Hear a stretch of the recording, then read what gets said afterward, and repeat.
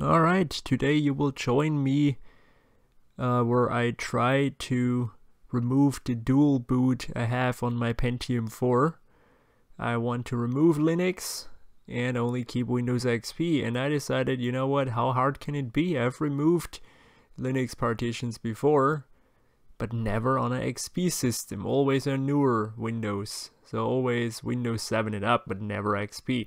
So I decided I'd record my experience here because it, it wasn't all smooth sailing. So yeah, I'll talk you through the process and uh, hopefully some of you can maybe learn from my mistakes I made because I made some mistakes, but in the end I got it figured out. So yeah, as you see here, I have the grub bootloader and also here the Windows XP entry and we boot into it right now. Also, I uh, gotta add that on any in any case, doesn't matter XP 7, Vista 8, 10, you always need some sort of uh, recovery USB. May it be here as I have a Windows XP disk can also be a Windows 7 USB stick, it can also be a Windows PE, but just something which gives you a command line where you can restore the master boot record. And that mostly helped. I would always run a command called bootrec.exe slash fix mbr, fix master boot record. That's what I would do on all the systems. But I found this one tutorial um, which told me otherwise. Since I was on XP, I didn't have the same command line, and I was like, yep, must be a different procedure, right? And they talked about boot CFG. And as you will see, then when we get to there, huh, it didn't quite work out the first try, or the second, or the third. But anyway, first we have to remove the partition, of course, as always. And for that, of course, we go into the good old disk management, which looks still the same on Windows 10, almost. So I just run here disk mgmt.msc, and that will bring us to the disk management. Now my computer only has one disk, so it's not all too complicated in this case, and you can see immediately the blue uh, partition is the Linux, which Windows can't read, and the black one is the C drive for XP. And so what I will do now is I will go ahead and delete the Linux partition, which is pretty straightforward. Now caution, again, before you do that, make sure you have a bootable medium so you can fix it later on because the bootloader will be screwed up and you can't boot your Windows anymore once you do this. So just a word of warning before you delete the partition as I do like like this now um, make sure you have a rescue boot stick. So here I tried first to delete the partition completely so I have unallocated space. I expected that I could now expand extend the Windows partition make it one big partition. But don't ask me why I just uh, didn't get that option here, so maybe XP couldn't do that or something. Uh, I don't know. So I created an extended partition for whatever reason, or at least I thought so first. Um, that that's the better idea. And what it would do now is it uh, wouldn't do much. so yeah, I just check here and find out that there's nothing happening so only free space and still no extend no no uh, ability to extend nothing. So once again I go in here and I can only create a logical drive which I'm like yeah whatever go ahead right?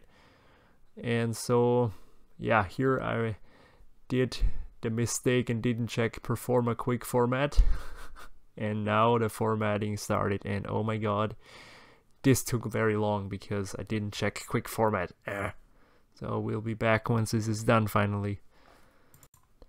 And woohoo! After a very long time I have my data partition formatted and I finally have another partition and Linux is gone. And I have space on my hard drive. So I create here a folder just to test it out and everything works, great.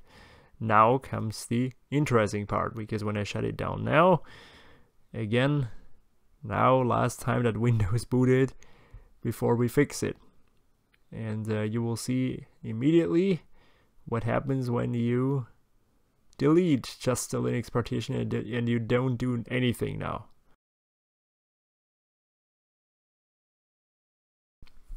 So here the computer reboots and oh oh oh there you go error no such partition yeah because we deleted everything obviously there is no partition so yeah now we need to grab our fancy XP disk and put it in there and boot it up.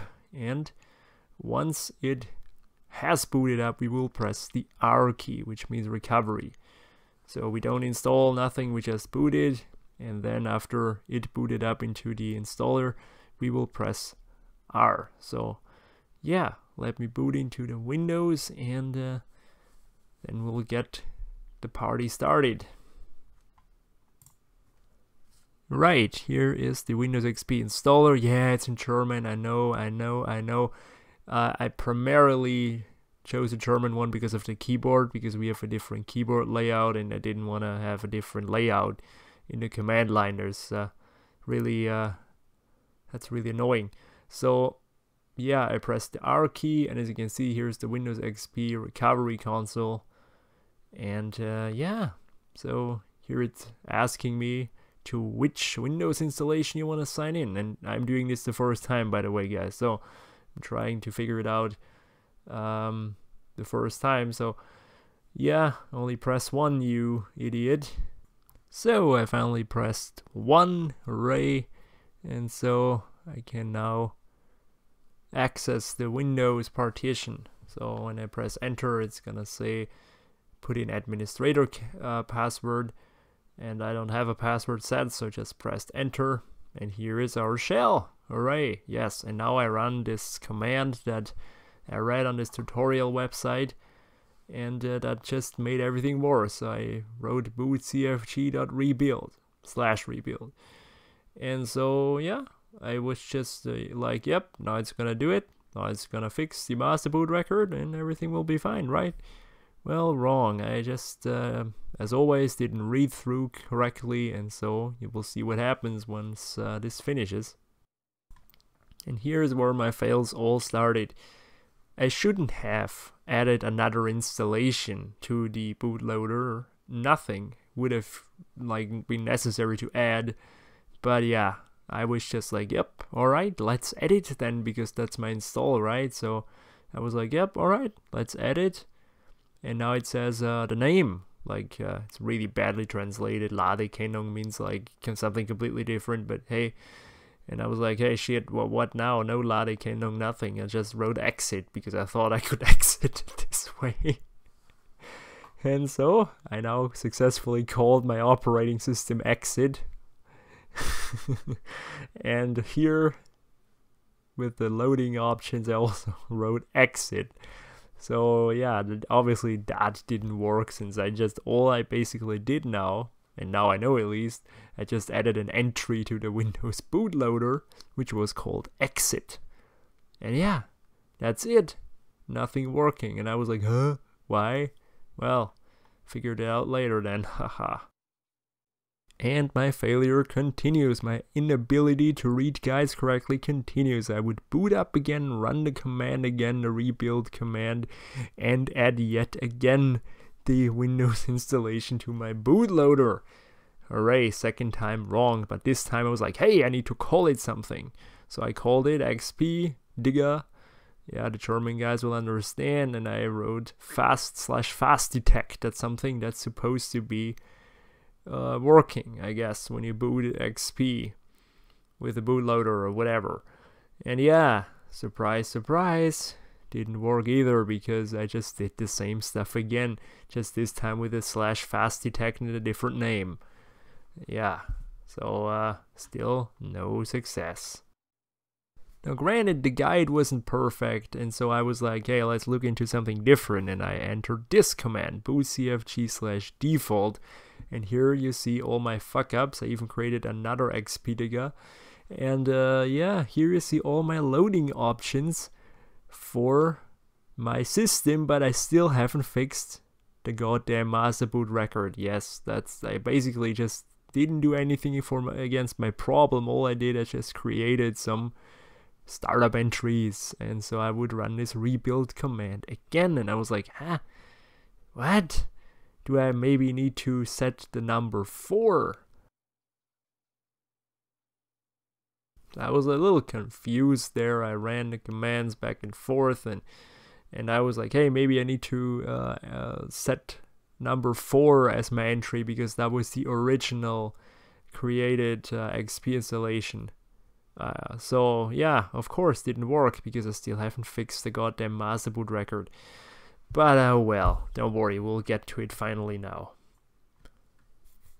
And so after another reboot, I'm yet again at the command line of XP and uh, the camera doesn't want to focus. And I will finally type the command that I should have typed from the start fix mbr and here it says caution you want to fix the master record? Are you insane? You really sure what you're doing here and yeah I was a little scared because the Windows 7 and up would never show something like that and I was like yeah let's do it and so as you can see new master boot record was successfully written or it was fixed or however it's said in English and I was like, hey, let's write let's write this boot cfg uh, default again because now, huh, nothing changed. What? Uh, I was I was slightly confused because I thought this is gonna clean up, but no. All it did is actually fix the install, and now I will be able to see my absolutely messed up, full of boot entries uh, bootloader, which uh, is by the way the boot.ini file which we will edit later and completely make it go away. So as you can see, here is my my bootloader with the four options and three of them basically useless. So I would choose the last one, Windows XP Professional, which yeah is the one we want. And here you go, XP booting again. At this point, I was really happy that I finally found out the problem, but I wanted to make it perfect. I don't want to have this stupid messed up bootloader that I created here. And so what we will do is we will now go on the hunt for the boot.ini file. And I couldn't find it from the guides that uh, that told me where it, where it was. It's not in the C Windows directory.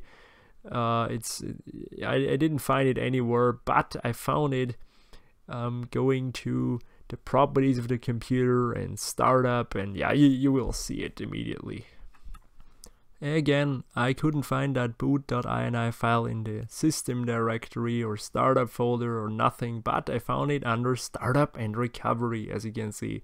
And here are already my boot options. And uh, there is our boot.ini file. And as you can see it is a mess. We got all this stuff which we don't need my stupid boot flag which I created with exit.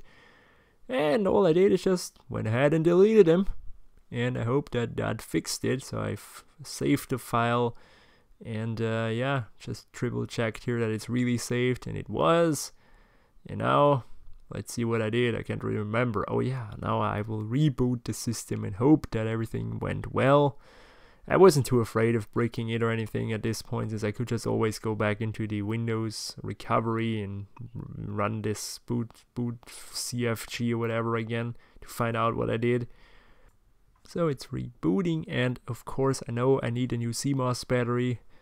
So as you can see it's always showing me this error but when I bypass it you will see XP loading from itself, no waiting around, no boot options which uh, are a mess, nothing. So that was the end of my adventure with the boot.ini file and removing the dual boot from Windows XP.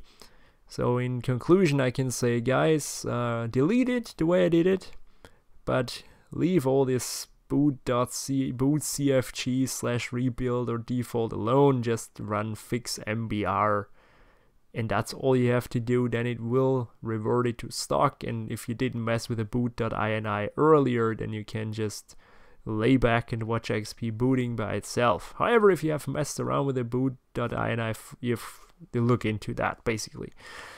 So here is XP. Yeah, hooray, uh, working. Um, so thank you for watching. I hope I could help you out a bit with my mistakes. Uh, it's not maybe not the most interesting video, but hey, nevertheless, I got it figured figured out, and I didn't have to reinstall XP. So that's uh, what counts, right? Nothing's perfect, especially not my videos. So thanks for watching. See you later then.